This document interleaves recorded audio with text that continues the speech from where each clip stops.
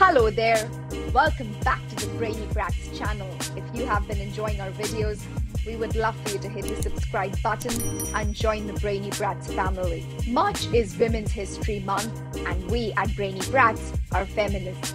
Hence, this masterclass is about women who have made an indelible impression on the world. If you haven't watched the first part of our women's masterclass, we would strongly suggest that you watch that one too. Are you ready to expand your lexicon? Let's get started. Our first word is resolute. Repeat after me resolute. Someone who is resolute is very determined. Let's now understand how to use this adjective. Michelle Obama was resolute about her big dreams, despite her numerous naysayers. She graduated from Harvard Law School and later became the first Black First Lady of the United States. Our second word is pulchritudinous. Repeat after me pulchritudinous. This word means beautiful. Let's use this adjective in a sentence. Emma Watson is not just a pulchritudinous actress.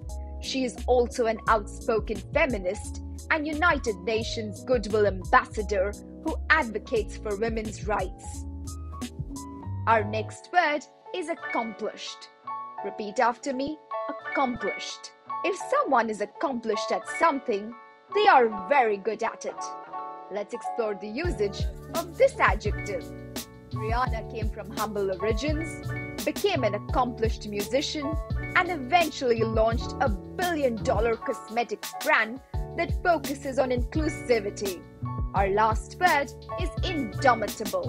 Repeat after me indomitable.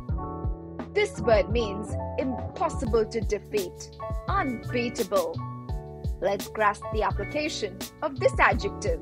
Anne Frank showed indomitable courage in the face of adversity and documented her life in hiding from the Nazis in one of the world's best known books, The Diary of Anne Frank. I hope you enjoyed this extraordinary vocabulary masterclass. Comment below and let us know which woman inspires you the most. Don't forget to like, subscribe, and hit the bell. We'll see you soon.